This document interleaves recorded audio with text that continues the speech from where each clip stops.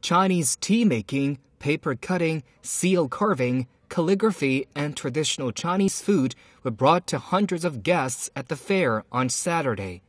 Even for those who have absolutely no knowledge of the Chinese zodiac, it was a sure bet that 2016 was the year of the monkey, as a giant monkey paper cut decorated the embassy's main hall and monkey dolls were everywhere.